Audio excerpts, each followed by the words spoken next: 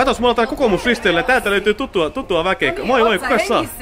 Moi, kyllä mä oon kuule hengissä. Mulla oli va- vaalipaneeli tuossa yhdeksän aikaa aamulla, mutta kerropas, kuka sä oot? Mä oon Saido Mohamed. Missä sä- Vuosaarista. Helsingin Vuosaaresta. Kyllä joo. No mikä sulle on vaaleissa kaikkein tärkeintä? Tärkeitä. Haloo. Niin, mikä on ykkösjuttu sulle vaaleissa? Joo, vaaleissa. No kaikkein tärkeintä on niinku tää nuorten, nuorten asioita ja, ja erityisesti tää tasa-arvo. Ja Nuorten asioita tasa-arvo. joo, kyllä. Onks, ku, äh, jo, on, onko tota, äh, sun mielestä niin kaikki hyvin näissä vai pitääkö jotain parantaa?